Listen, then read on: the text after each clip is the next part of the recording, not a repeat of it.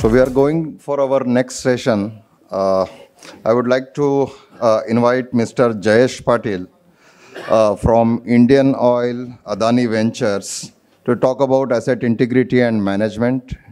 Good afternoon, everyone. Myself, Jayesh Patil. I am Senior Manager Assets and Operation of Indian Oil Adani Ventures Limited. On behalf of our CEO, Mr. Atul Kharate, I am presenting this asset integrity management to all of you. So, uh, particularly, you all are aware about asset integrity and management. Everybody knows how it is uh, performing, what we are doing. Everybody is well aware. But uh, going into the topic, particularly we are addressing to the asset integrity management in terms of uh, the activities which we are performing onto the assets, rotary equipments, static equipments, and how we are managing it. I will share some case studies of failure which we have observed in uh, our last practices of managing the facilities. So First of all, I would like to address the asset performance management, what it is, basically what is the basic criteria for that. Everybody is well aware. So, uh, asset performance management is a utilized framework that enables your administrator to make use of physical assets to realize business specific goals. And you employ multiple asset performance management strategies to maximize profit and reduce business risks includes decay, decay curve, asset performance score, service life, risk rating, criticality rating, then conditioning rating.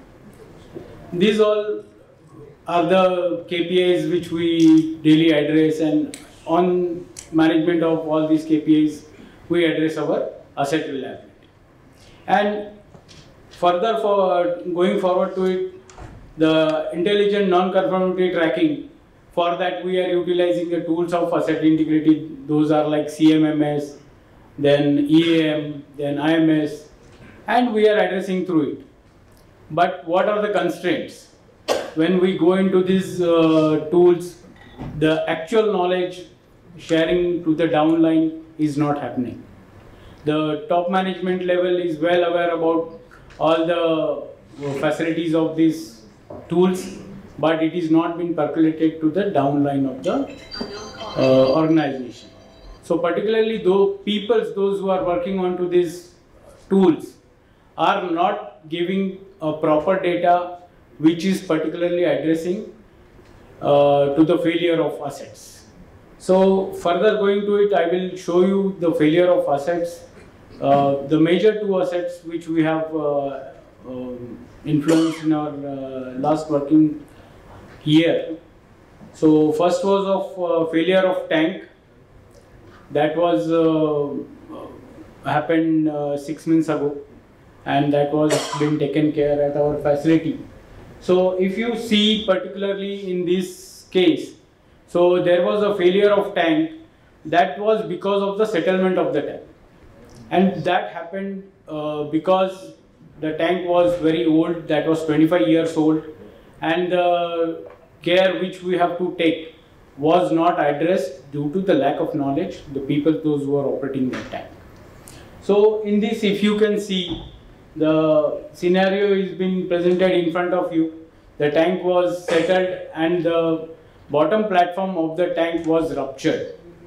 So the pile cap, if you can see on the second uh, photo line, that was ruptured and which has uh, uh, lead to the leak of the bottom plate. So that was taken care. The emergency was uh, taken care immediately. The tank was emptied out by loading vessel and that was of non-classified product. If we, that would have been classified product, what would have been done? What scenario would have been that? That scenario would have been very catastrophic. So these kind of situations need to be taken care of. So what measures we can implement it's all true that we are utilizing tools, softwares, everything, but the perception regarding this maintenance need to be in place.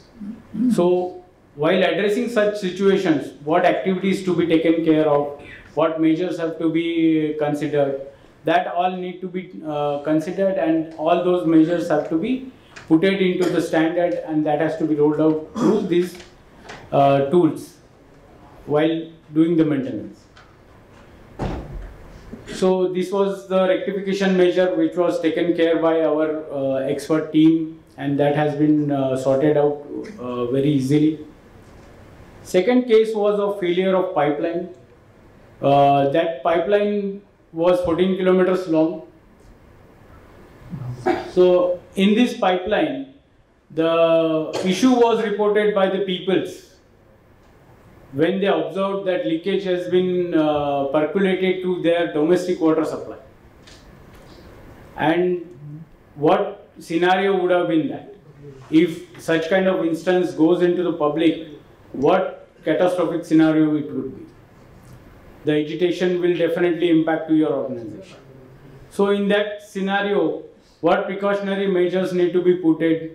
As we have seen, ONGC is having very long pipelines, subsea pipelines, Similar kind of this pipeline of 14 kilometers was there and the failure was observed through the people and which was addressed to the local administrative bodies, the statutory uh, bodies immediately rushed to the organization and they have started uh, scolding to the organization of non-conformities.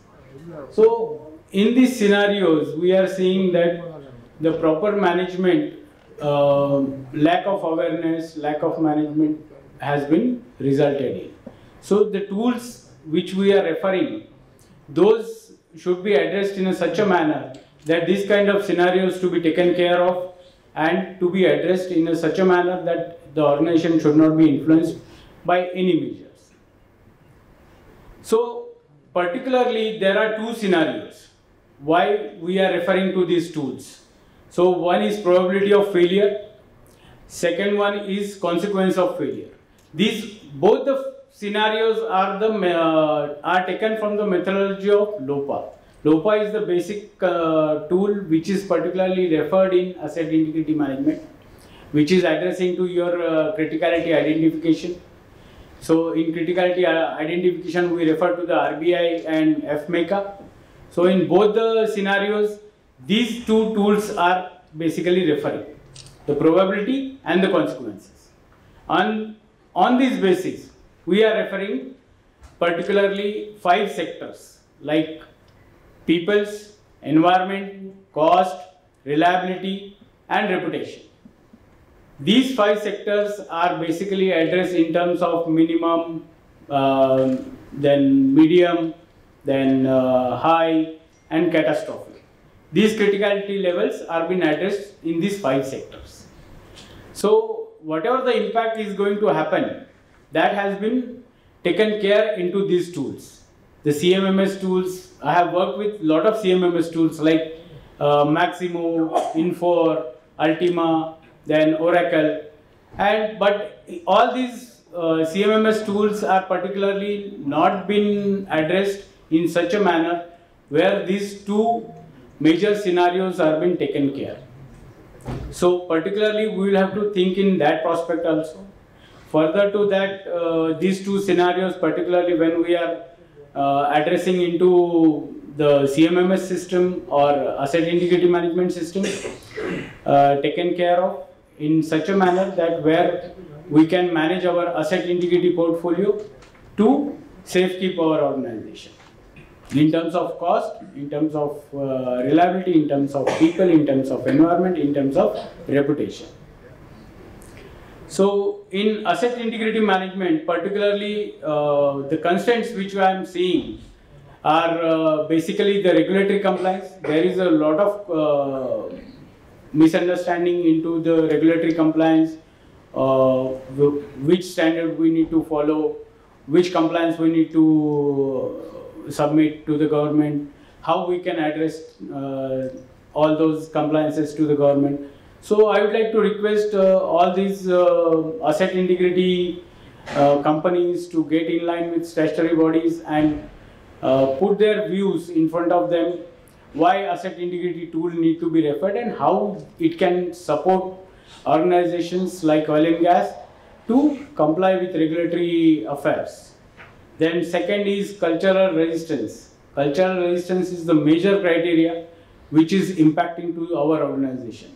The peoples are not aware about what actually these kind of tools are taking care of. So particularly uh, awareness need to be spread into the peoples. The resistance is being uh, taken care by imparting training to them, providing knowledge to them, enhancing their uh, mental abilities in favor of referring to the such kind of innovative tools. Then integration of legacy systems. We are facing a lot of issues into the integration of old systems with these kind of tools. Nowadays, the IoT platform has influenced a lot of new mechanism. As I have uh, past experience in uh, last uh, five years, I was in Europe and I have uh, constructed and commissioned one terminal over there.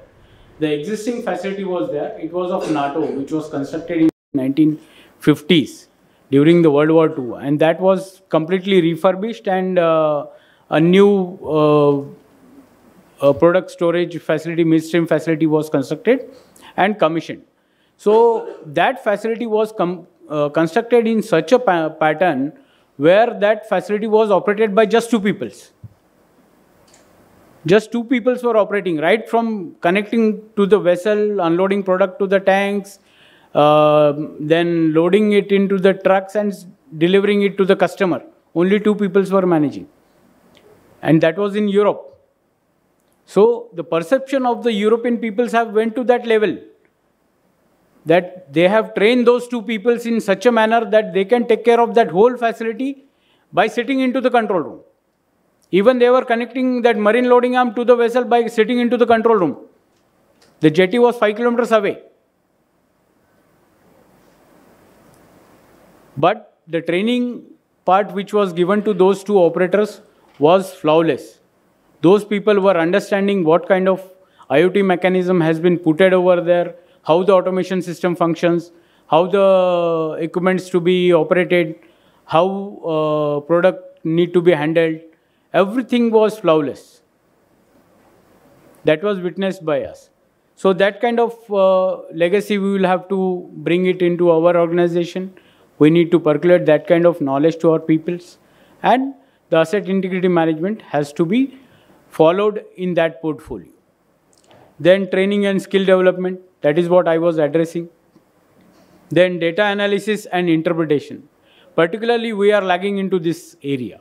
If we can see in all our industry, data analysis and uh, interpretation is not happening properly. So that is why we are leading to the failure of the assets, which is in increasing our uh, MTTF, MTTR, then MTBF, and that need to be taken care by uh, doing analysis. Then resource allocation. This is the main constraint which we are facing now. Because of uh, cost optimization, lot of companies have uh, increased load onto the manpower and reduce the manpower. That is that area we need to take care of and particularly address by uh, taking the understanding and managing, management level of the employee who is executing the job. Then stakeholder engagement. Stakeholder engagement is the key area as stakeholders are always looking after the cost optimization and cost reliability. So this asset integrity management platform need to be derived in such a manner that where we have to convince our stakeholders that putting up some amount of money, we can save ample amount of money. Then performance metrics, as our expertise have uh, derived, the KPIs need to be derived in such a manner where uh, hard KPIs need to be followed and uh, a proper data analysis need to be reviewed. Then the major constraint in uh, using this tool is the cyber security constraint as our industry is completely uh, well aware about the cyber security so these also need to be addressed to these companies which uh, tools we are using. So uh, whenever we are going into such tools, this constraint need to be taken care of. Then life cycle management. By going with these tools, we can easily derive the life cycle management of our uh, equipments and that has to be putted onto the papers and that has to be derived in such a manner that where we can uh, easily manage the asset reliability. So these were all the constraints which was uh, uh, envisaged by our company and us, by us, and that was I was presenting in front of you. If anybody is having any questions, you are open to ask. My name is T. Hachra, and I am from L&T's Asset Management Business Unit. It is the question is partially from that earlier panel discussion and from your slide also. You have mentioned that cultural resistance, Yes. And that earlier panel member also uh, said that there is a there are two issues are there. One is that competency, and second is that partial implementation. Yes, sir, you. So, my question is that as a owner user, let's say the strategy is already set. Now, how far down the line the education or rather people needs to be educated so that that partial implementation what exactly uh, that uh, panel member was that it can give the fruitful result or benefit as a overall uh, means what is your take on it You are addressing very nice uh, point, sir. Basically, uh, the partial implementation. I'm giving you a very small example, as we are uh, the customer of Hexagon, and we have uh, implemented EM from them, Infor, and we are using it in our organization. So particularly when we were into this asset maintenance portfolio, and that time we were Indian Oil Tanking Limited, and we were rolling out this all AMP project all over the world globally, and the Infor was our partner. So in this particularly, uh, peoples were addressed about only asset integrity and management, but nobody envisaged how to integrate the cost. So when we are addressing asset integrity management, all the uh, engaged peoples need to be taken care in line. How we are going to arrange a cost implementation onto the asset and how it will be addressed into our finance systems. So partial implementation is particularly addressing to the asset integrity management, but not to the cost management. So that is where the uh, particularly understanding about the asset integrity management is not been percolated. So whenever this kind of uh, portfolio has to be rolled out, no, that has to be rolled out to the execution peoples, along with that the management people. So RACI matrix has to be followed out. So responsibility, accountability, information and consultation need to be taken care of. So that is what is required. thank you Anybody else? I think that, that uh, sums up the uh, purpose of uh, implementation uh, which was discussed. Uh, Because if, if the purpose would have been uh, clearly stated or documented, Correct. that miss uh, might not have happened. No, no, it was taken care of into the documents, but was not percolated to the proper management. Means RACI was not followed. Okay. So that was the impact. So partial implementation is always give you in that portfolio the impact. So this need to be percolated properly through all the stakeholders.